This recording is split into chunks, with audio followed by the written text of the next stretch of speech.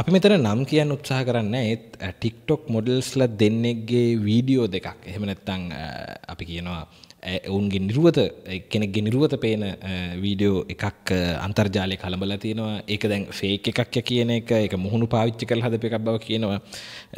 ඒක ඇත්තනත් හොයරකද සහරු එක කියන නෑනෑ මේ ඔගුල කියන බොරු මේකුල් මේකයි ඇත්තේ. වගේ නොයකුත් සංවාදයක් තියෙනවා. ඉතින් මිනිස්සු මේ වෙද්දි එක ෂයා කරලා ඉවර එක තලු මරමර එකගෙන පෝස්ට් හදලා ඒක තියෙන දේවල් ප්‍රහ කර කර කතා කරලා නිකන් අශිෂ්ට විදිහට. එකට මීම් සදලා කයිය ගහලා අර ඒක නිකන් මේ තමන්ගේ හිත් පිට නැති හැසිරීම් පෙන්නලා ඉවරයි. හරියට ගත්තොත් එහෙම මේක මේ රියක්ෂණ එක පළවෙනි වටේ ආපු රියක්ෂණ එක හරියට නිකන් මේ මොඩල්ස් ලගේ වදිහා බලාගෙන ඒක සමූහ දූෂණය කිරීමක් වගේ.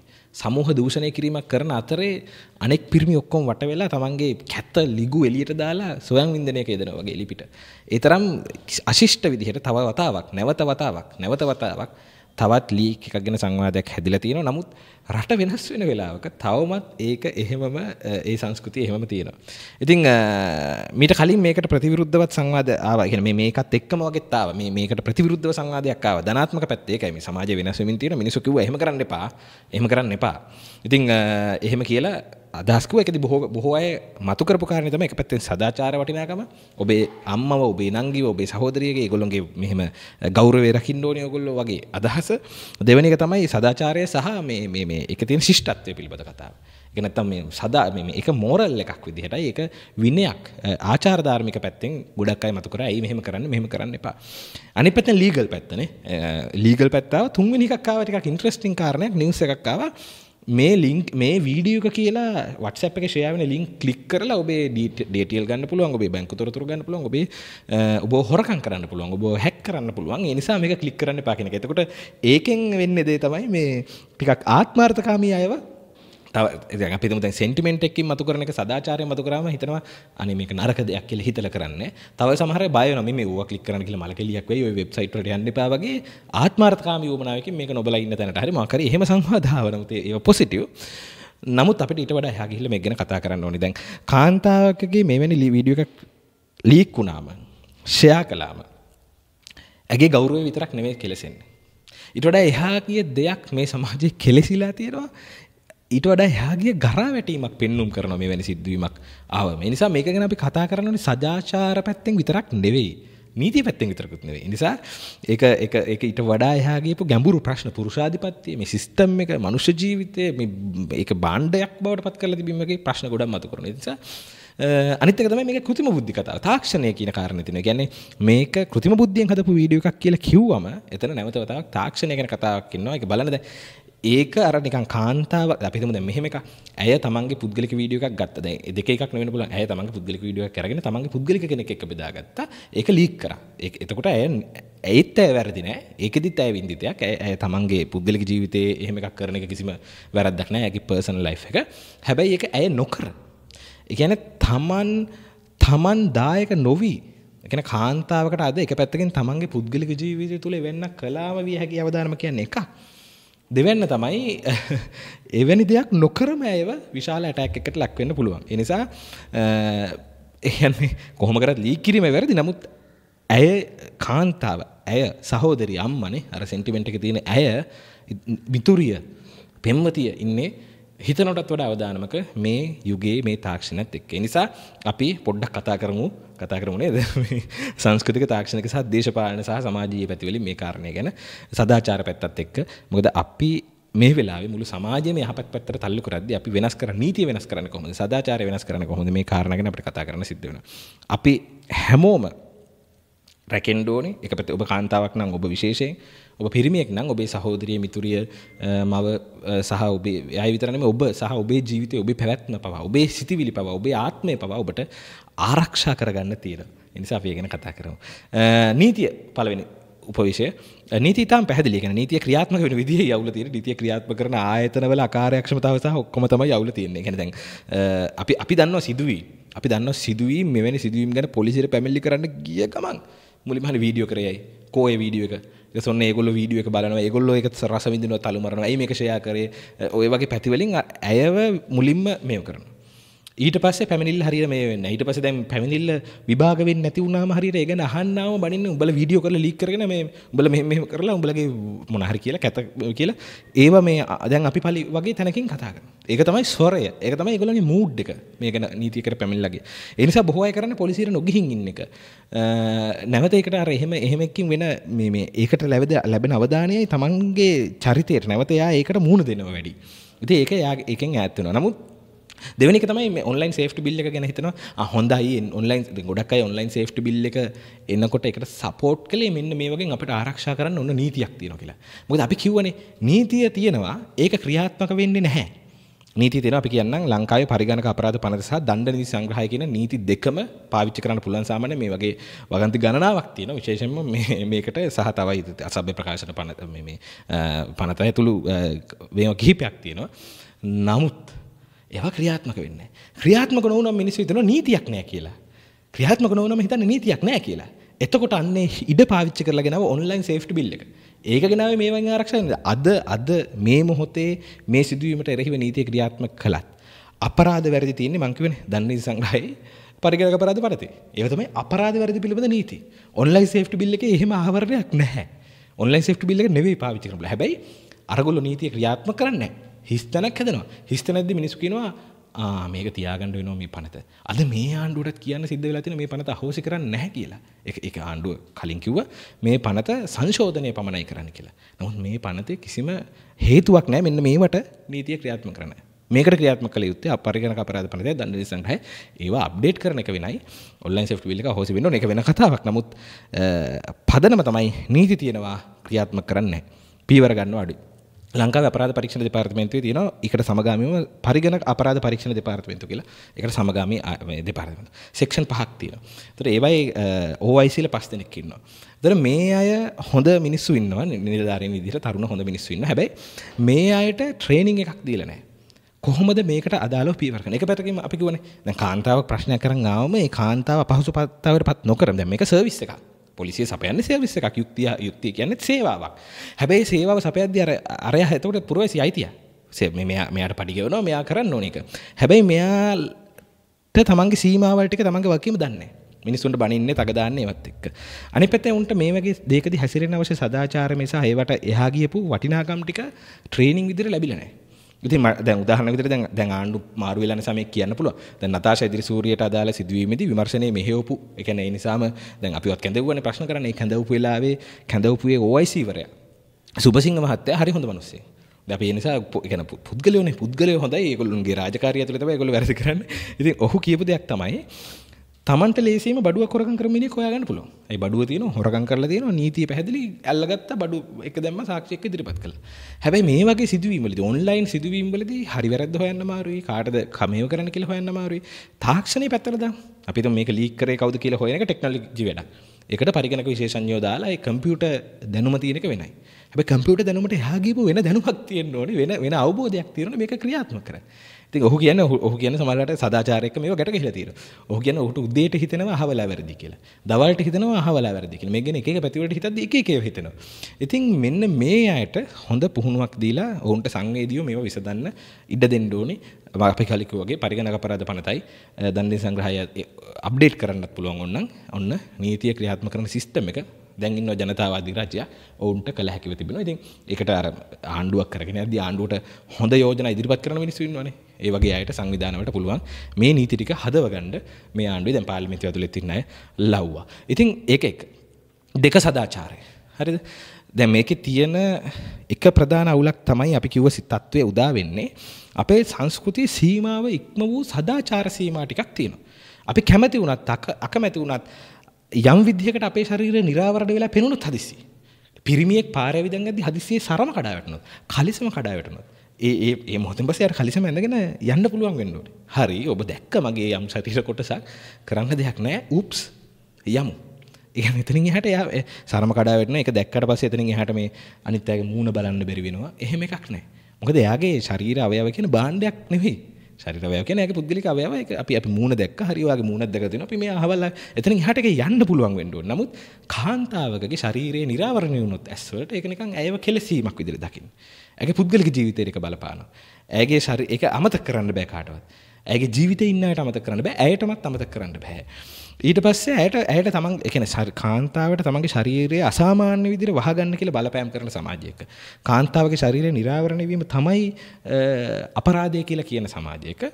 ඇව ලීක් වුණොත් එහෙම එක මේ වගේ දෙයක් වුණොත් ඇව දැඩි පීඩාවකට පත් කරන සමහර විට පාරට බැස්සම් පොදු තැනකට ගියාම වටේ ඉන්න හැමෝගෙම වපරැහින් බලන හැටි ඒ නිසා අමුතුවෙන් බලන රහස් කොඳුරන ඒ නිසා දැඩි පීඩාවකට පත් වෙනවා. ඉතින් මේ සීමා මායම නිසා මේ ප්‍රශ්න ගැන අපිට විවෘතව කතා කරන්න බැරි වෙනවා. අපරාධයකට ලක් වුණාම ඒක ගැන ගිහිල්ලා කතා කරගන්න බැරි වෙනවා. ෆැමිලි මේ ඇවිල්ලා TikTok ප්‍රසිද්ධ එකක් නිසා මේක අපි කතා කරනවා. නමුත් මේ වගේ සිද්ධි දිග දිගටම වෙනවා. ෆොටෝ හදනවා, වීඩියෝ හදනවා, තරහට කරනවා, එඩිට් කරනවා, AI වලින් හදනවා. දින පතා තොග ගානට වෙනවා. ඒතර මේ අපි කතා කරන්නේ පොදු තත්ත්වය ගැන. ඉතින් ඒ ඇයට සිද්ධ වෙනවා මේ වගේ සිදුවීම් වලදී නිහඬව හැංගෙන්න මේ අපරාධ රිපෝට් වෙන්නේ මේ අපරාධ වලට තියෙන නීතිය ක්‍රියාත්මක වෙන්නේ. එතකොට මිනිස්සු හිතනවා නීතියක් නැහැ කියලා. එතකොට ඒක පාවිච්චි කරලා මර්ධන රජයන් විසින් අර මර්ධන පනත් ගෙනිනවා මේ ඔන්ලයින් ඉන්න අයව ආරක්ෂා කරන්න අපි මේ පනත ගේන්නේ නීතියක් නැහැ කියලා. නීතිය තියෙන උන් ක්‍රියාත්මක කරන්නේ නැත්තේ. උන් කියන මේක. දැන් ඒක තත්ත්වය වෙනස්. ඉතින් දැන් ඒ වගේ ආණ්ඩු නෙවෙයි ඉන්නේ කියන අදහස සමාජය තුළ තියෙනවා. නමුත් අපි ඇයට ශක්තියක් දෙන්න ඕනේ. නීතිය ඔක්කොම හැදුවකින් ප්‍රතිසංස් කරන්න. ඇයට ශක්තියක් දෙන්න ඕනේ, සපෝට් එකක් දෙන්න ඕනේ. එළියට අවිල්ලා කතා කරන්න බය නැතුව මේක කරන්න. ඔයාගෙන අපි කිසි දෙයක් හිතන්නේ අපි මේ වීඩියෝ එක අයින් කරමු එකතු වෙලා මේකෙන්. අපි බලන්නේ නැහැ පොදු සමාජයක් විතර මේක. හදිසියවත් අපි බැලුවත් ඒක වරදක් නැහැ. ඒ කියන්නේ ඒ කියන්නේ ඔබේ ඔබේ කිසිම දෙයක් විනාශ වෙලා නැහැ. ඔබ කිසිම වරදක් කළා නැහැ. ඔබ තමන්ගේ ජීවිතේ ජීවත් වෙන්න කිසිම අවුලක් නැහැ කියන තැනට සමාජය තල්ලු කරගන්න ඕනේ. ඒ නිසා ඇය කැමැත්තෙන් පටිගත කළත් ඇය අකමැත්තෙන් පටිගත කළත් ඇය පටිගත නොකළ කෘතිම බුද්ධියකින් එඩිට් කරලා වගේ හැදුවත් ඇයගම සිරුරුණත් නැතත් ඇයට අදාළව එවැනි දෙයක් සිද්ධ වුණාම ඇයට එන්න පුළුවන් වෙනවා. ඇයට ශරීරයක් තියෙන. ඒක ජීව විද්‍යාත්මකව ශරීරයක් තියෙන. ඒක කාටවත් අයිති නැහැ. ඒක රූපේ කවුරු හරි දැක්ක කියලා කාටවත් අයිති වෙන්නේ නැහැ. ඇයට පුළුවන් තමන්ගේ ජීවිතය ගෙවන්න ඒක මනුෂ්‍යත්වයේ මත පදනම් වෙලා මේ සිදුවීම ගැන හිතන්න ඕනේ. ඒකෙදි තමයි අර සදාචාර වටිනාකම් සහෝදරිය පිළිබඳ හැඟීම, මව පිළිබඳ හැඟීම මේ ඔක්කොම එන්නේ. හැබැයි අපි කිව්වම අපේ අම්මා ගැන හිතන සහෝදරිය කියලා හිතන අර ඒකෙත් අපි අර ප්‍රොමෝට් කරනවා නම් අර සදාචාර අදහසම එතන ප්‍රශ්නයක් තියෙනවා. ඊළඟට බාණ්ඩකරණය. ඒක තමයි වැදගත්ම අනෙක් කාරණය. අද මේ යුගය අපි කරන හැමදේම වගේම අපි ජීවත් වෙන හැම දෙයක් වගේම අපේ ශරීරය, අපේ පෙනුම, අපේ සමස්ත දේවල් ආදරය කරන ඔබ ආදරය කරනවා ඔබේ ආදරය පවා භාණ්ඩ කරන්නට ලක් වෙලා තියෙනවා. ඒ හැම එකම ඇචීව්මන්ට් එකක්. ඒ හැම එකම භාණ්ඩයක්. ඒක හැම එකම කාන්තාව පිරිමි පිරිමි ශරීරයේ කාන්තා ශරීරයේ ලාලිත්‍ය, ස්ත්‍රී ලාලිත්‍ය, පුරුෂ පෞරුෂය, සුන්දරත්වය, පියහුරු ශරීරාංග සියල්ල රාගය ලිංගික බාණ්ඩ මේ ලිංගික ජීවිතය ලිංගික ක්‍රියාව සෙක්ස් මේ සියලු දේවල් නිෂ්පාදනයන්නද ප්‍රොඩක්ට්ස් අපේ හැඟීම අපේ පැවැත්ම අපේ ශරීර ඒවා පරිභෝජන බාණ්ඩ එක්කෝ ඒවා ඇඩ්වර්ටයිසින් ටූල්ස් එක්කෝ ඒවා ජීවන ශෛලිය මත පදනම් වෙච්ච ඇඩ්වර්ටයිසින් හෝ නැත්නම් යම්කිසි ප්‍රවර්ධනය සඳහා යොදා ගන්න දෙයක්. අපේ ජීවිත එහෙම કૃතිමව නිර්මාණය කරපු එකක්. එහෙම සිස්ටම් වලින් නිර්මාණය කරපු එකක්. අපිට එතනින් එහා පවතින්න බෑ. ඒ නිසා එතන ඒ නිසාම වැඩිහිටි කර්මාන්තය, ෆෝන් හරි නැත්නම් ඒ කර්මාන්තය නිෂ්පාදන කර්මාන්තය. සෑහෙන ඉතිහාසයක් පුරා ඡායාරූප, වීඩියෝ, නොයෙකුත් DVD පටවල සිට අද වෙබ් අඩවි දක්වා ඒ විනෝද කර්මාන්තයක් තියෙනවා. ඒක දැවැන්ත සිනමා කර්මාන්තයක්. ඒකේ Eh, හැබැයි ඒ වගේ තියෙන අවුල තමයි ඒවා නිෂ්පාදනය. ඒ වගේ රාගයේ උද්දීපනය නොවනකොට ඔතෙන්ටික් ඒවා ඇත්ත වගේ පේනවා. ඒවා සොයන්ව සමහරු දැන් ෆ්‍රීලාන්සර්ස්ලා ඉන්නවා. තනියම ඔන්ලයින් වෙබ් අඩවි වලට ගිහිල්ලා එක්ක වීඩියෝ ක්‍රියේට් කරලා දානවා නැත්නම් ඔන්ලයින් ලයිව් ස්ට්‍රීම් කරනවා. එතකොට ලයිව් ස්ට්‍රීම් කරද්දි වෙනම එකක්. එතකොට දැන් මේකේ තියෙන නොයෙකුත් අය තියෙනවා. දැන් ඒක ඒක එක තමයි ඒකේ අතුරු එකක් මේක. අතුරු කාරණයක් ප්‍රධාන මාතෘකාවට අදාළනවා. අපි හිතමු දැන් කැමැත්තෙන් කරනවා කියලා. අපි හිතනවා කැමැත්තෙන් කරන එක නීතියෙන් වළක්වන්න හොඳ නෑ කියලා හේතු ගොඩක් මත. ඒක වෙනම කතා කරන්න ඕනේ. ඇයි එහෙම කියන්නේ කියලා. මොකද ලංකාවේ මිනිස්සු ශරීරය විකුණන තැනට ඔක්කොම තල්ලු වෙද්දී ඇඟේ ශරීරය විකුණනට වඩා පාරේ ඔන්ලයින් එක කරනවා නම් ඒකේ අර පහන් තුඩව මතකනේ කට්ටිය අරස් කරපෙලාවේ අපි ඒකට විරුද්ධ වුණේ. ඒ අරස් කරනවට විරුද්ධ වුණේ ඒක මෙහෙමයි. එවැනි තත්වයකට කවුරු හරි තමන්ගේ ශරීරය විකුණන තැනකට ප්‍රඥන තැනකටපත් නොවන සමාජයක් අපි අනු දකින්න ඕනේ. හැබැයි මේ වෙලාවේ මිනිස්සු පාරේ විකුණන තැනට එහෙම තියෙන අවුල් මොහතක මෙවන්නක් කිරීම තුලින් යම් ආදායමක් උපයනවා නම් කෙලවෙච්ච රටක සල්ලි හොයන්න බැරි රටක මිනිස්සු එක් කරන එක පුදුමයක් නෙවෙයි. ඒ මිනිස්සු එක් කරා කියලා හිරේ දාන එක තේරුමක් නැහැ. ඒක වෙනම කතාවක්. නමුත් ඒකේ අනිත් වර්ෂන්, ඒ කියන්නේ ඒකේ අනිත් පැත්ත තමයි දැන් මේ මිනිස්සු ඔන්ලයින් ප්ලැට්ෆෝම් එකකට තමන්ගේ ශරීරය විකුණනවා. ශරීරය ස්ට්‍රීම් කරනවා. එක්ක වීඩියෝ එකක් විදිහට දානවා නැත්නම් ලයිව් යනවා. ඒ ගියාම එකෙන් ලැබෙන එක ආදායමෙන් දැන්වීම වලින් එහෙම ඒගොල්ලන්ට ලැබෙන ආදායමෙන් ඒගොල්ලන්ගේ ලැබෙන අර තියෙන එක එක ක්‍රම වලින් සල්ලි දෙන ක්‍රම තියෙනවා. ඒකෙන් ඉතාම අඩු ප්‍රතිශතයක් තමයි මේ තමන්ව විකුණන එකට ලැබෙන්නේ. අතිශය දැවැන්ත ආදායමෙන් කර ප්ලැට්ෆෝම් අති දැවැන්ත සමාගම් උපයනවා. මිලියන ගණන් ලාභ වෙනවා. ඉතින් අර ඒක තියෙන නිකන් අර පාරේ ලිංගික ශ්‍රමිකයෙක් විදිහට වැඩ කරනවා නම් කාන්තාව. ඇයට මේ තමන්ගේ මේකෙන් කොටසක් ගෙවන්න වෙනවා පොලිසියට කොටසක් ගෙවන්න වෙනවා මැරයොන්ට. උන් තමයි මේගොල්ලොන්ව හැන්ඩල් කරන්නේ. ඒගොල්ලෝ ඒගොල්ලොන්ට ගෙව්වේ නැත්තම් මේගොල්ලෝ රස්සාව කරන්න බෑ වගේ. අර අතන ඉන්න ඊට වඩා හොඳට ඇඳගත්ත ඔෆිෂියල් ඔන්ලයින් පේමන්ට් වලින් ඒ වැඩේ කරනවා. ඒ කියන්නේ පිම්ප්ලා ඉන්නවා. ඔන්ලයින් පිම්ප්ලා. ඉතින් කොහොම හරි මේ පාරිභෝගිකයා කවුද? අපේ සමාජින් පාරිභෝගිකයා කවුද? විවාහක පිරිමි. ප්‍රේම සම්බන්ධතා තියෙන පිරිමි. ගැහණු වෙන්නත් පුළුවන්. නමුත් පොදුවේ ගත්තොත් එහෙම. හැමෝම මේක බලනවා. එක්ක බලන බව නොකිය ඉන්නවා. සමහරු බලන බව බය නැතුව කියනවා. ඉතින් ඇයි තමන්ව මේ වයින් උද්දීපනය වෙන්නේ? ඇයි තමන්ට තමන්ගේ සැබෑ ජීවිතය තුළ ඒ රාගය, ඒ ලාලසාව, ඒ රාගික සමීපත්වය, ඉන්ටිමසි එක ගොඩනගා ගන්න බැරි ඇයි? තමන්ගේ ප්‍රේමණීය ලෝකේ දුර්වලයි මේ මිනිස්සුන්ගේ. ඉතින් ඒකට සියල්ලට හේතුව අපේ ජීවිත අපිව අපිව ආත්මයන් අපි එළියට ඇදලා තියෙනවා. අපිට අපේ ජීවිතය ඇතුලේ සියල්ල බාණ්ඩ, බ්‍රෑන්ඩ්, ක්වොලිටි, ප්‍රමිතියක් තියෙන බාණ්ඩ. ඒතර අර අර ඒ කියන්නේ බ්‍රෑන්ඩඩ් රූපයක් අපි බලන්න ඕනේ. කාන්තා ශරීරයට හදපු බ්‍රෑන්ඩ් තියෙනවා. ඒ බ්‍රෑන්ඩඩ් රූපයක් දිහා බලාගෙන අපිට මේව කරනකොට සමහරට අපේ පෙම්මතිය බිරිඳ ඒ බ්‍රෑන්ඩඩ් රූපයක් නොවෙන්න පුළුවන්. නැත්තම් අපි අපිට ඒ අයත් එක්ක එහෙම කනෙක්ට් වෙන්න තරම් අපි අපි එහෙම කනෙක්ට් වෙන්න බැරි තරම් අපි කාර්යබහුල වෙන්නත් පුළුවන්. නැත්නම් අපි අපේ ලෝකවල අපි තනි වෙලා ඉන්න එකම ජීවිතවල එකම ගෙවල් වල ඉද්දි. ඒ නිසා එක එක විදිහට ඒ නිසාම තමන්ව බ්‍රෑන්ඩ් කරගන්න එකක් තියෙනවා. තමන් කැමති නැහැ තමන්ගේ රූපේ කණ්ණාඩියෙන් ඉස්සරහා සැබෑ රූපේ දකින්නට. ඒ වෙනුවට ඒ වෙනුවට බොහෝ විට තමන්ව මේකප් කරලා හොඳ කැමරාවකින් ගහන ෆොටෝ එකක් ගහලා තමන්වම දකින්න ආසයි තමන්වම ප්‍රසන්ට් කරන්න ආසයි. සමාජ මාධ්‍ය වලට තමන්ව දාන්න ආසයි. TikTok වල නටන්න සරාගී රූප කියන්නේ නිර්වත් ඒවා විතරක් නෙමෙයි. නිර්වත් නොවන තැන්වල පවා අපේ අපේ ශරීරාංග අපේ පස්ස පැත්ත පෙන්වනවා අපි අපේ අහවල්තට පෙන්වනවා අපි ජිම් ගිහිල්ලා ඇඟ පෙන්වනවා අපි සියල්ල තමන්වම බාණ්ඩ කරන එකට හරවනවා. එක්ක අපි තමන් එක්ක අපි බාණ්ඩයක් එක්ක අපි පාරිභෝගිකයෙක්. මේ ලෙවල් එකට මිනිස්සුන්ගේ සම්බන්ධතා හැදිලා තියෙනවා. ඉතින් ඒක ඇතුලේ තමයි ඔය TikTok තරූපවා සහායක. ඉතින් මේකෙදි වැරදියට ගන්න එපා. సౌందර්යය කියලා එකක් තියෙනවා. ජීවිතයට අදාළ සන්තවර තියෙනවා ලිංගිකත්වයට අදාළ ශරීර සුන්දරත්වයට අදාළ රාගයට අදාළ ප්‍රේමයට අදාළ సౌందර්යයක් තියෙනවා. නිසා මේ අපි ඔන්ලයින් ගිහිල්ලා හරි කොහේ හරි කලාත්මක දෙයක් කරන එක సౌందර්යය ආ මේ විකින ඔන්න විකිනනවා කියලා කියන්න බෑ. ටිකට් එකක් විකුණලා චිත්‍රපටියක් බලන එක විකිනනවා එහෙම නෙමෙයි.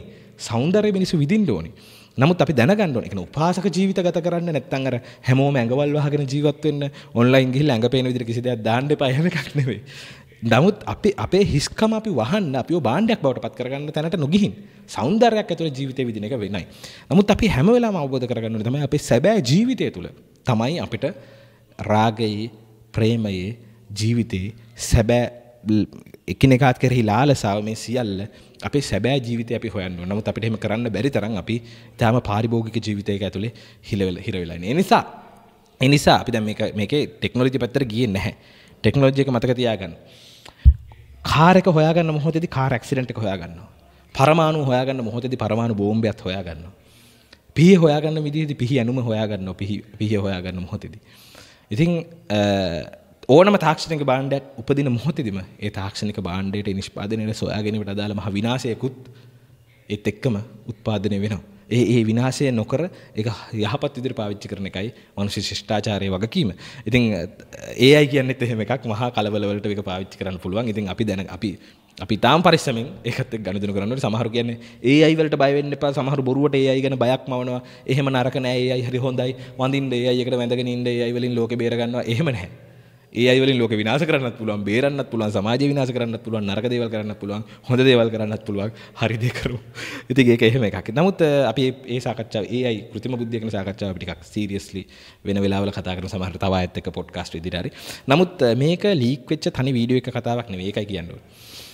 මේ ලෝකය ගැන අවබෝධ කරගන්න අද තියෙන තත්ත්වය ගැන අවබෝධ කරගන්න මේකක්. මිනිසුන්ගේ වේදනාව, මිනිසුන්ගේ ලැජ්ජාව, මිනිසුන්ගේ පුද්ගලික ජීවිතේ පවා තව කෙනෙක්ට ලාභය උදෙසා භාණ්ඩයක් තමයි කෙනෙක්ට එන්ජොයි කරන්න භාණ්ඩයක් විදිහට විකුණනකොට ඒක පරිභෝජනය කරන්න කෙල්ල හලහලා අනුකම්පා විරහිතව තව කෙනෙක්ගේ වේදනාව අමතක කරලා ඒක පරිභෝජනය කරන දුෂ්ට තත්වයකට සමහර විට අපිපත් වෙලා තියෙන්න පුළුවන්.